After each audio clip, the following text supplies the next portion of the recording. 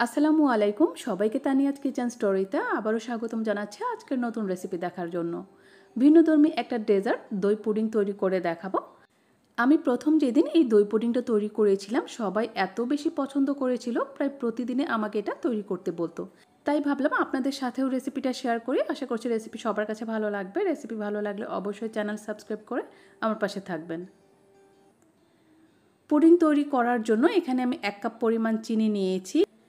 একটা মোটা তলানিযুক্ত পাত্রে নিতে হবে যাতে করে ক্যারামেল করার সময় ক্যারামেলটা পুড়ে না যায় আর ক্যারামেলটা খুব সুন্দরভাবে তৈরি হয়। এই ক্যারামেলটা যেহেতু আমি পুডিংয়ের সাথে মিক্স করে নিব, তাই ক্যারামেল তৈরিতেই কিন্তু আমি পুরো মিষ্টির জন্য চিনিটা ব্যবহার করেছি। যখন চিনিগুলো ক্যারামেল হয়ে যাবে, তখন আমি এখানে দুই কাপ পরিমাণ লিকুইড দুধ দিয়ে দিব। প্রথমে এক কাপ পরিমাণ দুধ দিয়ে আমি ক্যারামেলের সাথে ভালো করে মিশিয়ে নিচ্ছি। ক্যারামেলটা যখন ভালো করে গলে যাবে, তখন এর মধ্যে আমি আরও এক কাপ পরিমাণ দুধ দিয়ে দিচ্ছি। এখানে আমি কুসুম গরম অথবা গরম দুধ ব্যবহার করছি। কেননা গরম দুধ অথবা কুসুম গরম দুধ ব্যবহার করলে ক্যারামেলটা খুব তাড়াতাড়ি গলে যায়। এখন দুধটাকে আমি কিছুটা জাল করে আরও কিছুটা কমিয়ে নিব। এখানে জাল করতে করতে প্রায় ওয়ান ফোর্থ কাপের মতো দুধ কমে গিয়েছে। এখন আমি চুলাটা অফ করে দিয়েছি। আর এখন এই দুধটাকে আমি পুরোপুরি ঠান্ডা করে নেব। অন্যদিকে এখানে আমি এক কাপের থেকে বেশি পরিমাণ টক দই নিয়েছিলাম। পানি ঝরানোর পর এখানে থ্রি ফোর্থ কাপ অর্থাৎ পনে এক কাপ পরিমাণ দই হয়েছে। পানিটা আমি সম্পূর্ণভাবে ভালো করে ঝরিয়ে নিয়েছি। এখন এই দইটা আমি একটা বাটিতে নিয়ে নিচ্ছি। এখানে দেখতেই পাচ্ছেন পনে এক কাপ পরিমাণ দই আছে।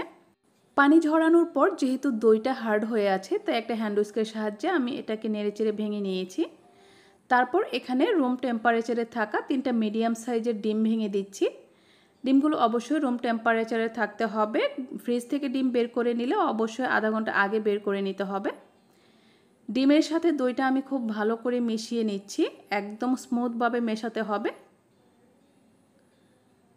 খুব ভালো করে মেশানো হয়ে গেছে। এখন ডিমের এক্সট্রা ফ্লেভারটা দূর করার জন্য এখানে আমি দু তিন ফোঁটা ভ্যানিলা অ্যাসেন্স ব্যবহার করছি। সেই সাথে যেহেতু আমি টক দই ব্যবহার করেছি, স্বাদের ব্যালেন্স আনার জন্য সামান্য এক চিমটি লবণও ব্যবহার করেছি। সব কিছু ভালো করে মিশিয়ে নিয়ে এবার আমি ক্যারামেল মিশ্রিত যে দুধটা ঠান্ডা করে রেখেছিলাম, সেটা আস্তে আস্তে করে মিক্স করে দিচ্ছি। আরেকটা কথা, এখানে আমি এক কাপ পরিমাণ চিনি দিয়ে ক্যারামেল তৈরি করেছি। যদি আপনারা মিষ্টির পরিমাণটা আরও বাড়াতে চান, সেক্ষেত্রে কিন্তু দেড় কাপ পরিমাণ চিনি দিয়েও ক্যারামেল তৈরি করতে পারেন। অথবা এই ক্যারামেলের সাথে আরও হাফ কাপ পরিমাণ কর্নডেন্স মিল্ক এই মিশ্রণের সাথে মেশাতে পারেন। তবে এক কাপের থেকে কম চিনি দিয়ে কিন্তু এই পুডিংটা তৈরি করা যাবে না, তাহলে মিষ্টির পরিমাণটা অনেক কম হবে। আমি যে মোল্ডে পুডিংটা বসাবো, সেখানে আমি ঘি ব্রাশ করে নিয়েছি। তারপর পুডিংয়ের মিশ্রণটা ঢেলে নিয়ে এখন উপর থেকে এভাবে ফয়েল পেপার দিয়ে ঢেকে দিয়েছি।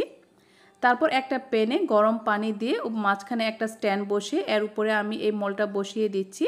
আর ঢাকনা দিয়ে ঢেকে চুলার আঁচটাকে মিডিয়াম লোতে রেখে ২০ মিনিটের মতো এটাকে ভাপে রান্না করে নিয়েছি। ২০ মিনিটের মধ্যে কিন্তু পুডিংটা পারফেক্টলি একদম বসে গেছে। এখন এটাকে পুরোপুরি ঠান্ডা করে এক ঘণ্টার জন্য নর্মাল ফ্রিজে রেখে দিব। ফ্রিজে রাখার আগে অবশ্যই ঠান্ডা করে নিতে হবে।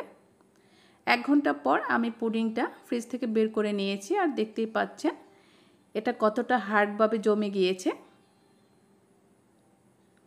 সাইড থেকে চাকু দিয়ে একটু ছাড়িয়ে নিচ্ছি যাতে করে সহজে মোল্ড আউট করা যায়। দেখতেই পাচ্ছেন মাসাল্লাহ কতটা সুন্দর হয়েছে এই পুডিংটা। যারা পুডিং খেতে ভালোবাসেন, তারা আশা করছি এই পুডিংটা তৈরি করবেন। হাজার গুণ বেশি পছন্দ হবে আপনাদের নর্মাল পুডিংয়ের থেকে। পারিবারিক ছোটোখাটো অনুষ্ঠানে অতিথি আপ্যায়নেও কিন্তু আপনারা এই ডেজার্টটা রাখতে পারেন। সবাই ভীষণ পছন্দ করবে। যদি রেসিপি ভালো লেগে থাকে তাহলে কিন্তু অবশ্যই ভিডিওটিতে লাইক এবং কমেন্ট করে দিবেন আর আপনার ফ্রেন্ডস এবং ফ্যামিলির সাথে শেয়ার করবেন। সাথে থাকার জন্য সবাইকে অনেক অনেক ধন্যবাদ। আল্লাহ হাফেজ।